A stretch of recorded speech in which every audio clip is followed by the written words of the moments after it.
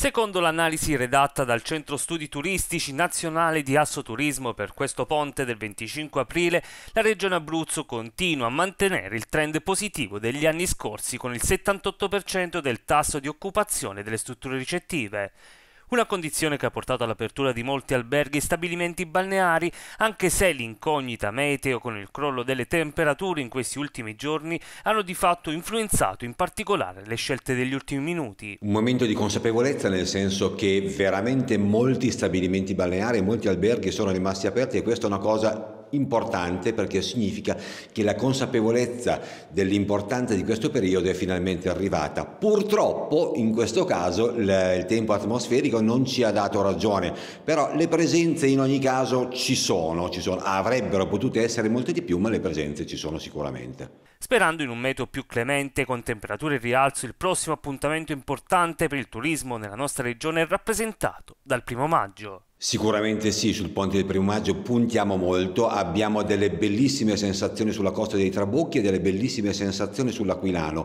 ma anche il Teramano con il progetto delle virtù andrà sicuramente bene. Ecco, sul primo maggio contiamo di recuperare tutto quanto purtroppo si è perso in questi giorni. Possiamo dire che questo sarà un banco di prova importante in vista dell'estate?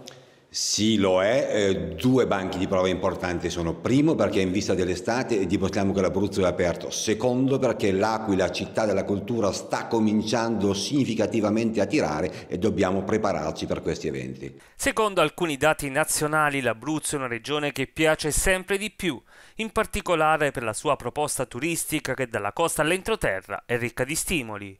L'Abruzzo è una regione che veramente sta piacendo sempre di più, dobbiamo migliorare per quanto attiene la, gli stranieri, purtroppo siamo deboli, lo sappiamo, li dobbiamo molto migliorare, molto bene per il turismo italiano, speriamo di migliorare moltissimo sul turismo della cultura perché l'Aquila ci sta aiutando molto.